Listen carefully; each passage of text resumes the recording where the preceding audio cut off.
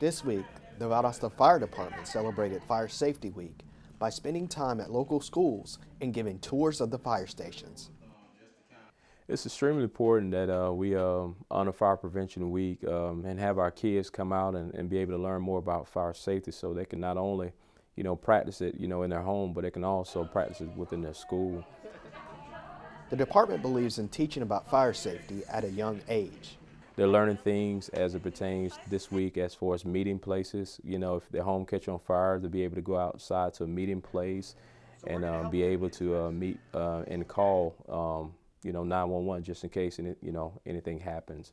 So it's, it's, it's good, you know, to start very young with them because we learn that it grows up in them and it's, it's amazing because we um, see kids as they get older down through the years they come back to us and say well i remember coming to station one or station two or any other stations and, and learn about fire safety and um, some of those kids even um, want to pursue being a firefighter as they get older. The firefighters enjoy working with the kids as much as the kids enjoy seeing the fire stations firefighters here, they love when the kids come. They love when the kids come. Um, our fire and life safety educator, she um, tries to provide some type of um, um, thing for them, whether it be a hat or either um, coloring books or something that you know caters to them. But the firefighters, when they when the kids come, they absolutely love it. They look forward to it, and they uh, have anticipation and, and talking to see how they can make it, you know, the best that it can be. For more information, contact the Valdosta Fire Department.